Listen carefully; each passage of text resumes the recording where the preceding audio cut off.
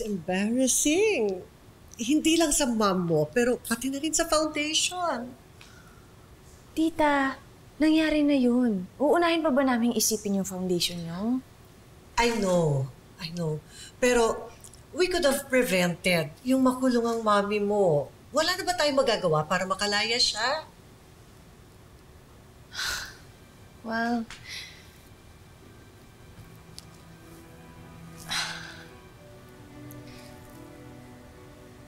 Aling Ona is making an offer to me. Kapalit ng paglaya ni Mommy. Really? What deal? Gusto niyang tumira ako sa kanila. Ganun naman pala eh. Why don't you take it? Magkikita pa naman kayo ng mami mo. Basta ang importante, hindi tumagal sa kulungan ng mami mo. Para that way, malinis din niya ang pangalan niya from all the cases. Nay, tulungan ko na po kayo. Salamat. Um, Onay, pwede ba tayong mag-usap ng masinsinan? Ano po yun, Nay?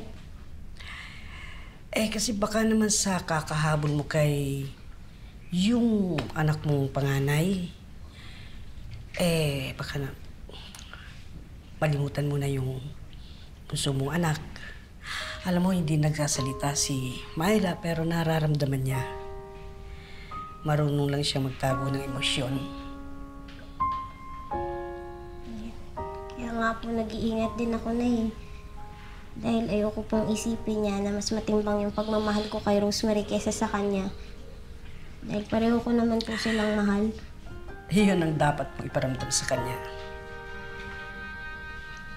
Ayun, ayun pala, Nay. Nakita niyo po ba siya?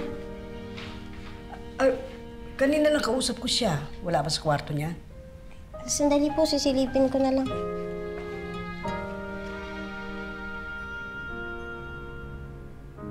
So, you did say yes, Natalie?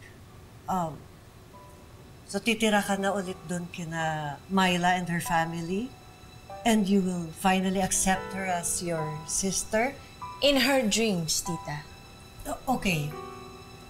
Hypothetically speaking, if that was the only option left para makalaya ang mami mo, would you accept your little nanay's offer?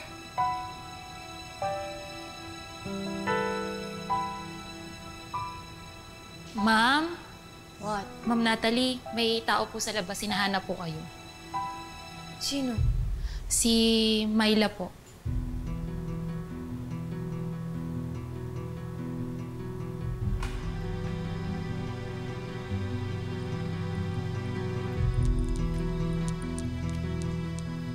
Sino yung sabi sa'yo pumasok ka dito?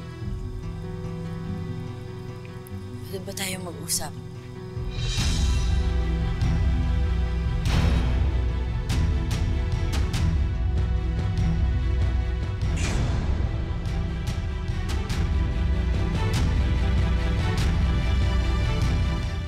So, it's true. Speak of the devil, and she shall appear. Ano ginagawa mo dito? You're trespassing! Tinulungan ako ni Manang Sulen na makapasok. Kahit sa village, tinulungan niya ako siya gumawa ng paraan. So, so- sorry, Natalie. Bakit mo siya pinapasok? Soleng, sana nagsabi ka muna. Madam, pasensya na po. Naawa lang po talaga. Kahit na! Dapat hindi mo pa rin siya pinapasok! Huwag mo na siyang pagalitan. Huwag ka na din magalit sa akin. May gusto lang akong sabihin.